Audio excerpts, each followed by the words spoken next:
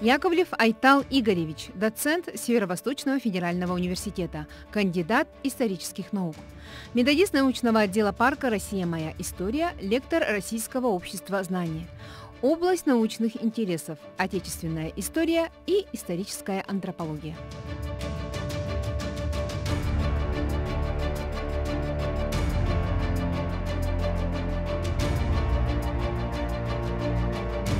Добрый день, уважаемые слушатели. У нас сегодня будет лекция на тему «Культурный ландшафт Якутии». Тема культурного ландшафта является э, очень актуальной э, на современном этапе развития науки. Э, когда я говорю слово «наука», это означает не только гуманитарные науки, но и технические, специ... ну, естественные. И понятие культурного ландшафта, оно объединяет практически всех ученых, которые сейчас как-то выигрывают большие гранты, исследуют, э, как развивается э, и что такое есть культурный ландшафт э, ну, в 21 веке и вообще по времени. Что касается историков, культурный ландшафт, понятие, оно очень интересно для ученых-историков. Почему? Потому что именно что изучают историки? Они изучают человека во времени и месте определенное место. И вот культурный ландшафт – это э, понятие, которое объединяет э, все, что можно, как говорится, объединить. Да? Вот человеческое общество, человека, природу, вселенную. И не только в физическом плане, да, но и, э, скажем так, метафизика, да? то есть то, что внутри, как ощущает человек место. А, что касается конкретно понятия культурный ландшафт, культурный ландшафт – это изобретение немецких ученых – а конкретно Отто Шлеттера, который объясняет, ну, географ, э, понятие культурный ландшафт приходит из географии, э, классические науки. Э, что такое понятие культурный ландшафт? Ну, слово ландшафт это немецкого происхождения, да? Ландшафт, ланд – это земля, шафт – это местность или определенная часть местности какой-то. Э, и все исследователи, которые поднимают вопрос развития культурного ландшафта, э, они все время ссылаются на Шлютера, который, если кратко говорить, то это место, это природа, которая изменена человеком.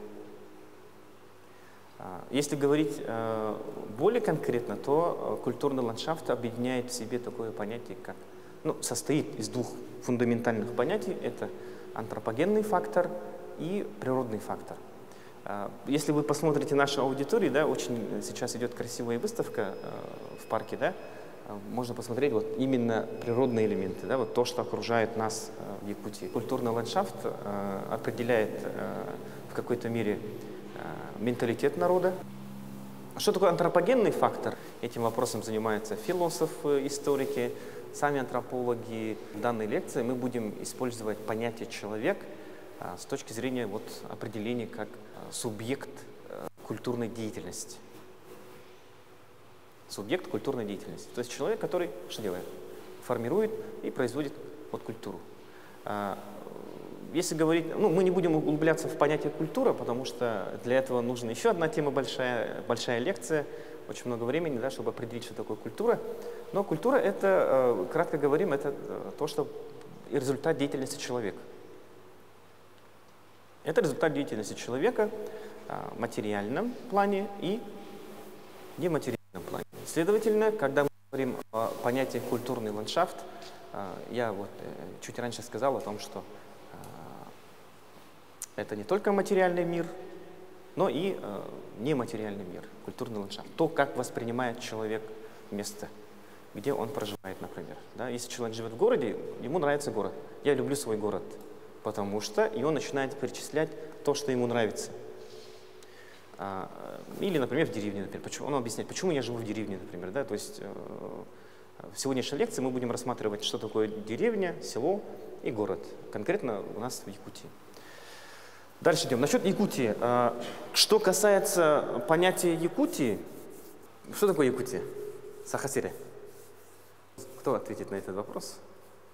Якутия – это место, где мы с вами живем. Мы с вами якутяне, да, в данной аудитории конкретно. А Якутия – это есть определение территориальное, оно появляется в территориальном плане, да, а, и тут начинаются интересные моменты. Когда же появляется вот такой, скажем так, феномен, как Якутия, Сахасиря? А если берем материальные источники, то у нас э, самый знаменитый памятник археологический, который существует здесь в данный момент, и это Деринюрях. С этого момента мы говорим о том, что здесь присутствует человек. А почему человек? Потому что мы сегодня говорим о культурном ландшафте. И главный субъект, который формирует культурный ландшафт, это человек. Человек здесь появляется э, эпоху Деринюрях. Э, ранее считалось, что это два целых 2 миллиона лет назад где-то появляется здесь человек по теории Мачанова. А в данный момент отмечается о том, что Деринюрях э, ну, приблизили к нам, да, вот максимально. 500-300 тысяч лет назад это ну, уже фактически человек здесь был. А, это в материальном плане. То есть мы с вами отмечаем о том, что историки опираются на три источника знаний. Первое – это материальные источники, письменные источники и устные источники. Теперь самый интересный момент. Устные источники – Откуда мы черпаем историю Якутии в устном плане? Это фольклор, это Олонхо, эпос Олонхо, который является одним из источников знаний народа Саха. И э, когда мы начинаем, поднимаем, открываем Олонхо и читаем Олонхо, да, мы начинаем просто вот как появляется космос, сама суть есть место, да? Потом Земля, э, там небеса, вот это Э, космоногенетическая теория, да, вот срединный мир, где живут люди. Видите, да, это уже объясняет культурный ландшафт. Нижний мир, в нижнем мире живут у нас кто? Злые духи, абага, например, которые приносят только несчастье, а могут помогать в таком плане. И верхний мир. Это в узком плане. Что такое э, есть Якутия? Ну, ортодойду. Теперь начинается э, самый интересный момент, э, на, на что мы будем обращать больше внимания, это э, письменные источники. Так вот, когда начинается письменная история Якутии? Есть определенная дата. Недавно, кстати, праздновали. 1632 год – это дата основания города Якутска. А, история развития культурного ландшафта Якутии, она в своем роде уникальна, но обычно для истории России за Уралом. Почему? Потому что посмотреть внимательно, да, вот как живут э, коренные народы Сибири. Это в основном кочевые народы или полукочевые народы, как якуты, например, да. И потом вдруг появляется город, ну как крепость сначала, да, острог, и вокруг него начинается развиваться э, культурный ландшафт, который э, в данный момент мы существуем и живем. И это наш город, любимый город, город Якутск. Мы до этого еще дойдем, откладываем в другую сторону. А, если мы изучаем историю развития государственности российского, то тут начинаются а, удивительные вещи, что вокруг городов начинает формироваться государство. Первое, да, древнерусское государство центром в Киеве. Как появляется город? Это обычно что? Маленькое поселение, да? Это может быть деревня, это может быть монастырь, например, Э, это перекресток дорог, э, и вокруг вот этого места начинает развиваться город. А в Якутии удивительная вещь, конкретно вот такого вот эволюционного пути развития города, то есть культурного ландшафта у нас не наблюдается. У нас вот так появляется острог. В 1632 году э, Петр Бекетов построил Ленский острог. В 1942 году мы говорим о том, что город переехал на эту сторону, и э, в данный момент мы с вами живем э, уже 300 лет как э, в городской условии. То есть в Якутии мы говорим о том, что культурный ландшафт очень развивается удивительно. Дальше идем. Э, мы сказали о том, что мы будем смотреть понятие город и село. Потому что, э, ну, где живет человек в данный момент, в 21 веке? Или в городе, или в селе. А, деревня, село, негелек а, это понятие совсем другое. И обычно кажется, когда студенты э, первый раз ко мне приходят и говорят, вот наслег, деревня, село, они начинают путаться. Что такое наслег? Наслег – это есть территориальное, опять же, территориальное образование, это территория, где живут, например, якуты, да, Нагилек. А, деревня – это одна точка. Это улицы, это дома, – это деревня. Вот вопрос, когда в Якутии появляются те деревни, которые существуют в данный момент? В советское время, правильно подсказывают, да? Это в эпоху, когда начинаются укрупняться колхозы, и когда колхозы начинают укрупняться в совхозы. Удивительным образом мы с вами говорим о том, что современное якутское село появляется буквально деревня, я имею в виду деревню, да? А, деревня появляется буквально в 50-е годы 20 века. Сколько лет прошло? Ну, 60 с чем-то лет, да? 60 лет. То есть культурный ландшафт деревень у нас в Якутии существует 60 лет. Городской ландшафт 300 с чем-то лет. Ну, 3, ну, 400 уже считайте, да? Вот, вот такой парадокс. Удивительно, да? Вот как развивается э, культурный ландшафт э, Якутии. А, а где тогда жили якуты до 50-х годов?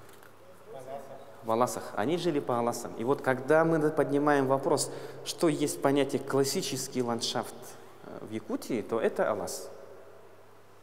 И некоторые очень красиво пишут, да?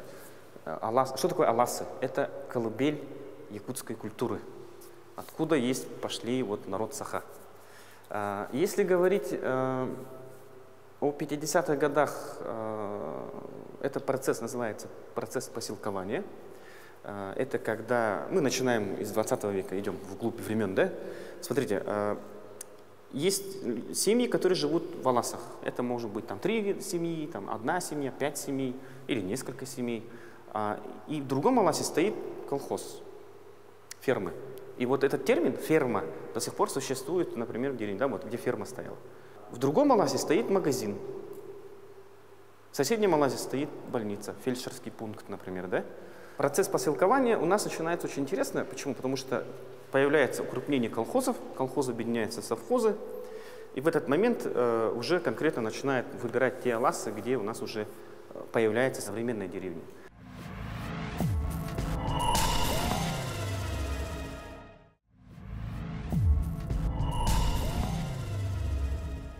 Если говорить про аласы, возвращаясь э, к пункту аласы, да, то аласы – это термокарстовое образование. Э, как появляются аласы? Аласы проходят в процессе оттайки многолетней мерзлоты или ну, вечной мерзлоты. Да? И э, что мы наблюдаем? Алас – это место, где человек занимается скотоводством и табунным коневодством. Что есть понятие якут, саха? Это человек, который занимается скотоводством, разводит крупный рогатый скот и лошадей, коневод. А потом уже олонхо, гэх, там язык, там дом и тому подобные вещи. Нет лошади, нет коровы, нет э, народа саха. А, сейчас, в данный момент, в 21 веке, почему история изучения культурного ландшафта является актуальной? Почему? Потому что мы сейчас наблюдаем очень такое понятие, как а, трансформация культурного ландшафта. Более 62% населения Якутии живут где? В городе. 62%. Остальные 38-37% они живут где? В селе, в деревне. 38.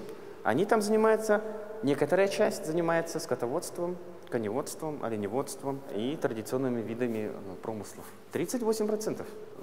Что такое классический культурный ландшафт? Вот что себе представляете, когда вам говорят вот якутский Аллас, Саха Аллаха, Саха Илын Аллаха?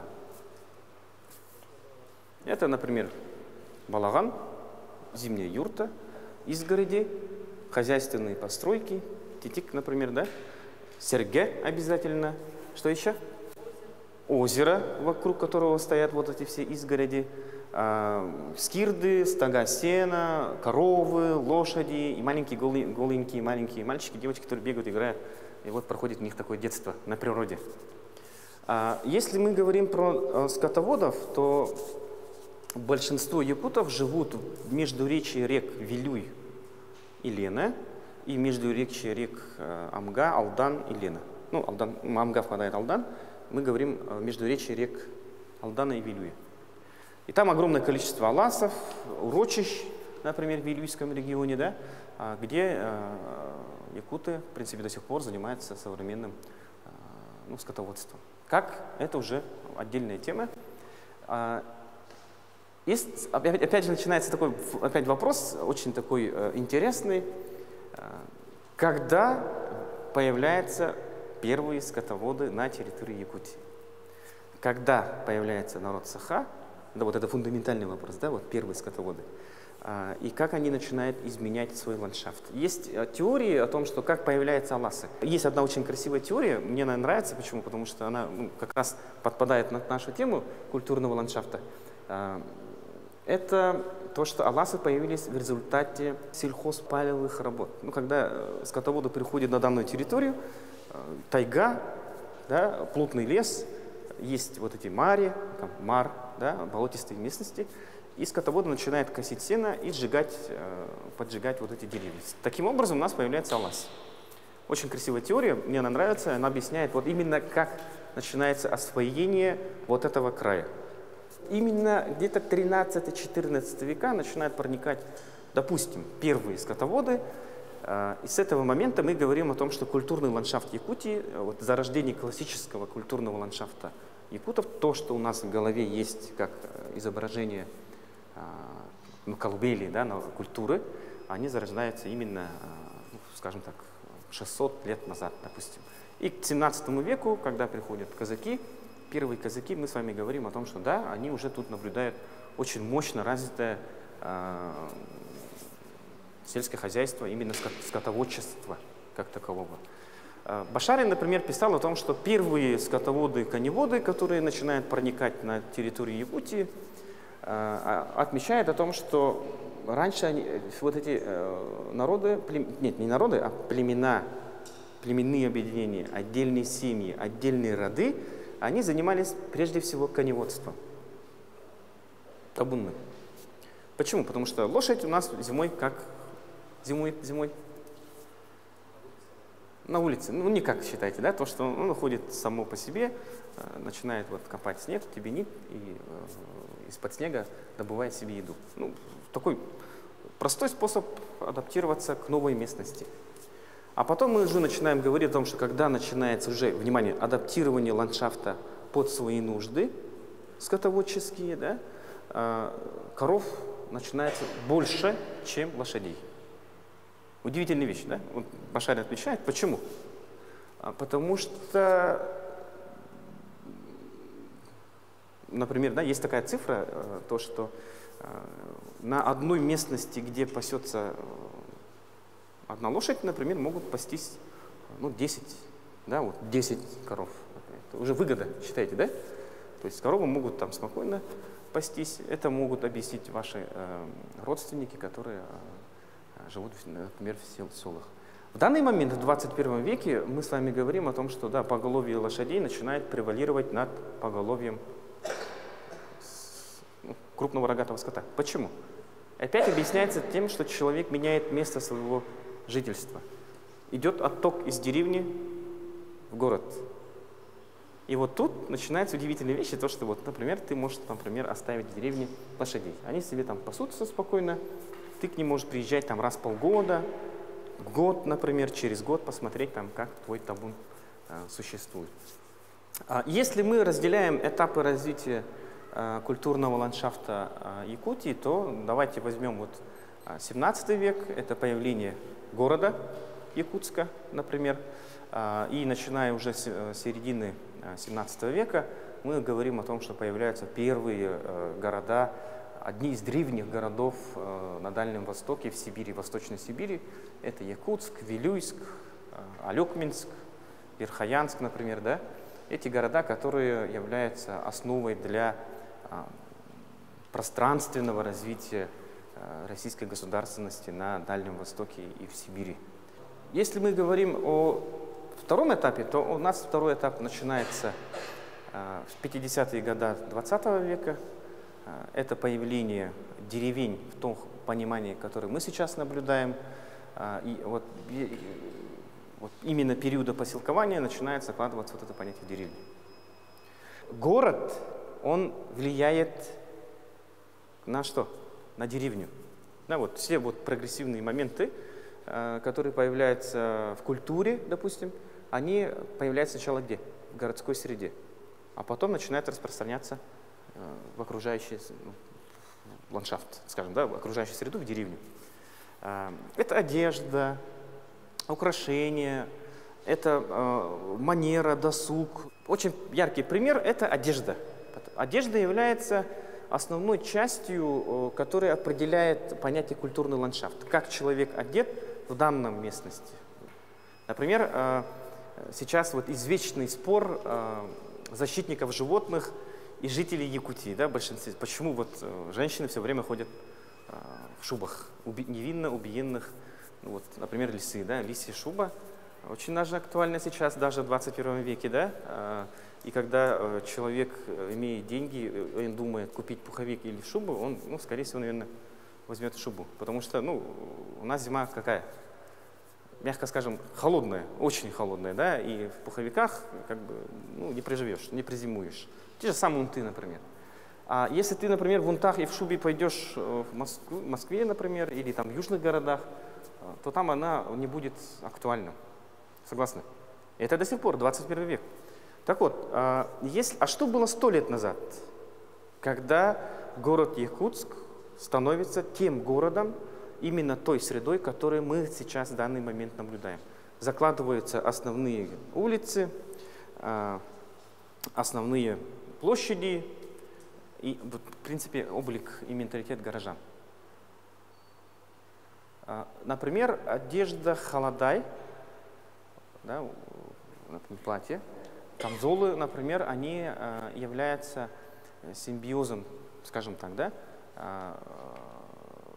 русской культуры и якутской культуры, э, холодай, женское платье, да? И э, именно из города Якутска начинается в современности, именно из жителей, э, тех людей, которые жили в Якутске сто лет назад, в данный момент мы с вами что делаем? Ну, берем э, как пример, да? А, когда в 21 веке современный якут в 2018 году хочет пойти на ИСЭХ, женщина заказывает себе или сама шьет что? Холодай, платье. И что она делает? И она говорит, я хочу настоящую одежду, как у моих предков. И достает фотографию. Фотография была сделана в городе Якутске сто лет назад, в городской среде. Удивительная вещь то, что мы э, отчасти наблюдаем э, жителей, э, ну, скажем так, наслегов столетней давности якутов, да, и, в принципе, у них тоже самая одежда ну, не сильно отличается от э, городских жителей. Э, это можно объяснить тем, что город является торговой точкой, город Якутск, он и так появляется как один, ну, пункт второй, да, это э, торговый центр а пункт первый – это форпост освоения культуры ну, Дальнего Востока. Так вот, торговля, Якутск начинает влиять на свою окружающую среду сто лет назад через торговлю. То есть это купцы первой, второй, третьей гильдии. Это может быть просто человек, приехавший в город Якутск по своим делам, закупает себе там материал и смотрит, как люди одеваются, приезжает, э, например, домой, и вот начинается вот это э, контакты. А, и удивительным образом мы наблюдаем о том, что, ну это моя а, теория, субъективная теория, можете не согласиться, о том, что в данный момент в Якутии село, наоборот, влияет на город Якутск. Почему? Идет мощный отток из села в город. И те люди, которые жили в селе, они хотят чувствовать себя в городе как дома например, да, и вот это самоопределение. Если человек в городе не может заниматься э, скотоводством, коневодством, да, он как позиционирует себя как народ, как, э, ну, как культур, субъект культурной деятельности? М? Вот эти чашки с якутскими узорами, дома с якутскими узорами. Та же самая вот эта ситуация, когда человек едет куда? На ИСЭХ, праздновать ИСЭХ национальной одежды, например. Это одно из проявлений, как меняется культурный ландшафт. Почему? Потому что человек меняет культурный ландшафт, а не природа. Да? И в 21 веке мы с вами наблюдаем очень красивое явление, то, что э, актуализируется очень такие вот национальный колорит в культурном ландшафте. Согласитесь? И одновременно мы наблюдаем такую вещь э, в селах и деревнях Якутии, то, что там тоже вот это начинает проявляться. Начинает заново строиться э, места проведения СХ, тюрьга. Начинается обновление.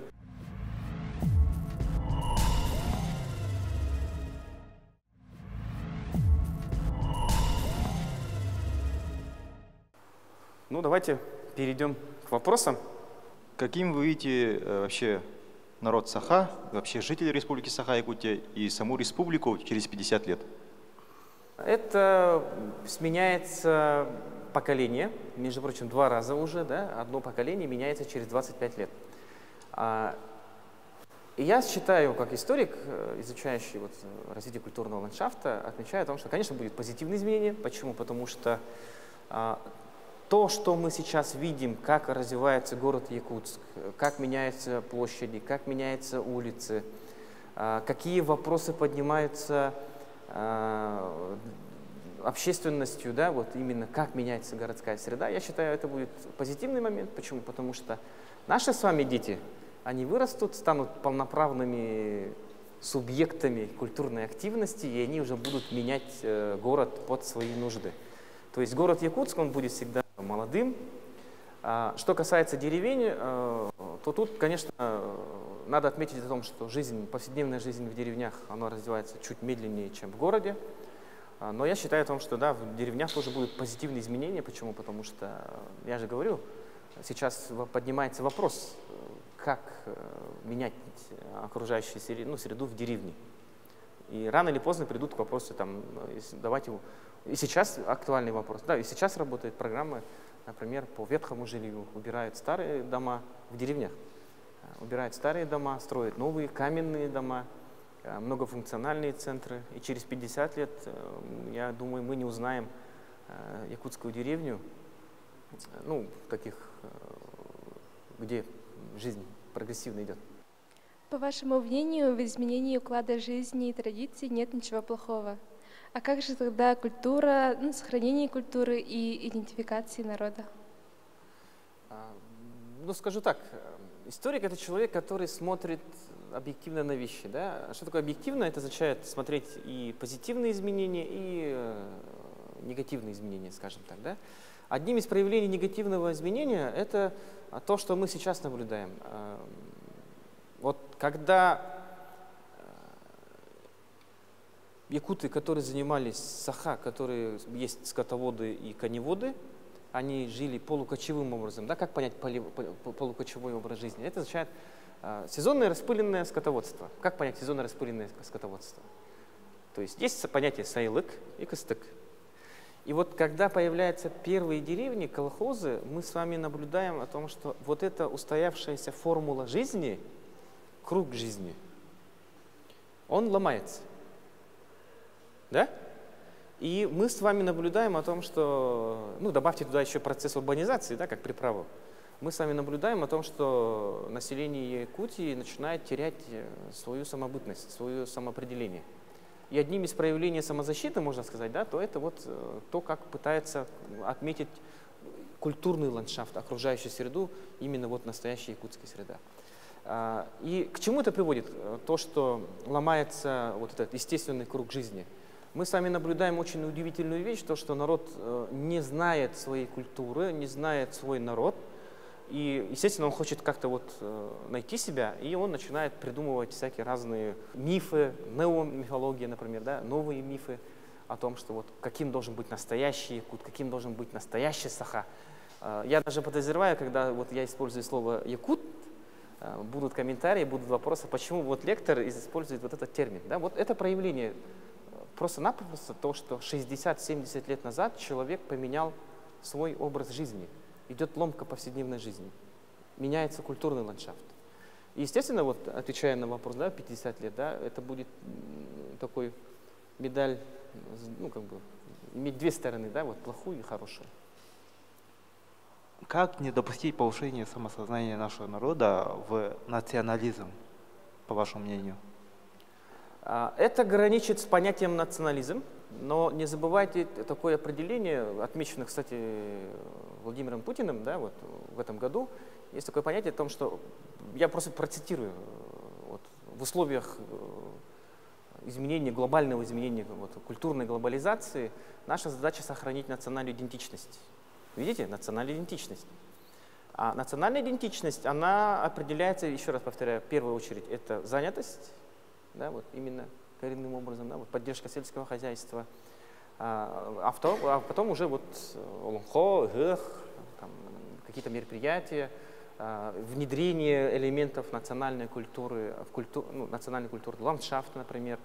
А, есть очень много тетрадей, календарей, посуд, вот именно с изображением э, якутских да, вот, узоров, например. Да, вот. А узоры, естественно, они тоже являются неким отражением, э, когда вот мастер в древности посмотрел какой-то ландшафт, природное явление, он это прочувствовал, потом он отразил где? В узорах. Да, вот это явление. А как вот повлияет на культурный ландшафт э, железная дорога? Как повлияет вот приход э, современных технологий? Как вы думаете? А, ну, начнем с позитивных моментов. Железная дорога – это прогресс.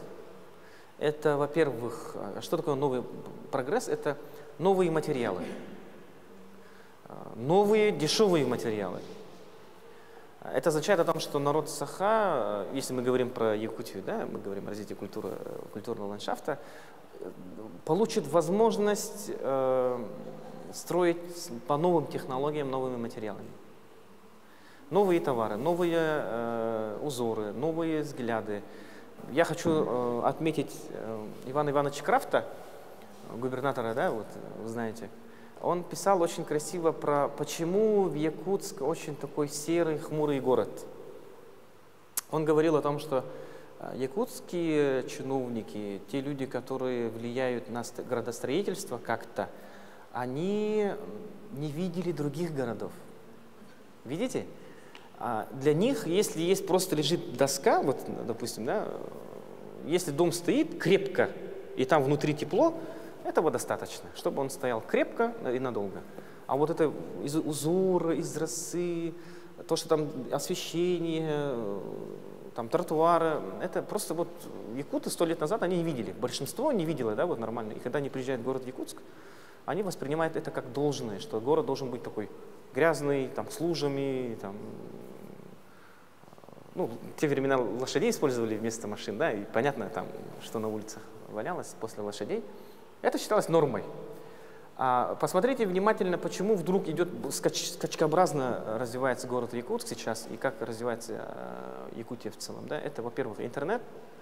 Через смартфон мы можем видеть э, другие города, как живут в других домах. Мы даже имеем возможность зайти в дом тех людей, которые живут за пределами России, например. И, а, вот у него кухня такая, стол такой, он ест с такой посуды, у него одежда такая, например, да.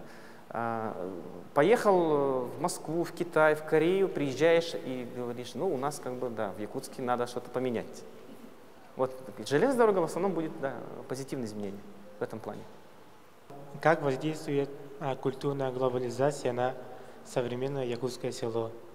Культурная глобализация – это то, что мы наблюдаем в данный момент, что происходит в жизни э, повседневной жизни, да, это у нас э, интернет, это спутниковое телевидение, это, я сказал, новые материалы. И мы можем наблюдать такую вещь, то, что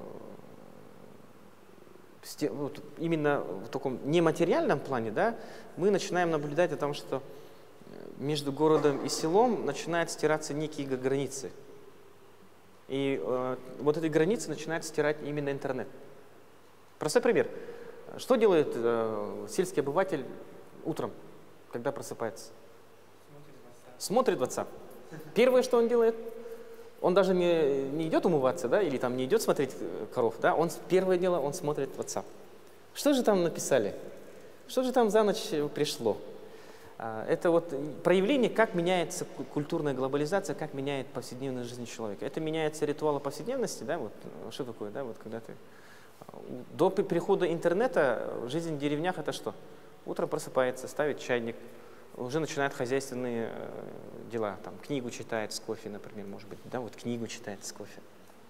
А сейчас он, как и городской житель, между прочим, да, вот все городские жители тоже, первое дело, начинает листать, что же там в Инстаграме, кто лайкнул, кто не лайкнул, почему не лайкнул, да, вот такой момент.